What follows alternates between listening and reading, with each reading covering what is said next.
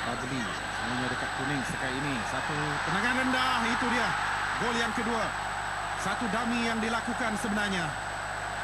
Memang dalam keadaan begitu memang sukar untuk diatasi tetapi kredit adalah kepada penendangnya iaitu pemain nombor 17 dan dilakukan di situ ya satu dummy adakah itu offside Tak.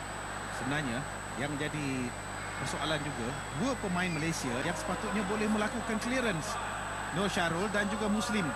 Ya, Tetapi keduanya terlepas dan keduanya semua terlepas untuk gol yang kedua pasukan Cina. ya Syarul cuba untuk clear tetapi tak terkena di situ dan lepas beliau dan uh, hanya via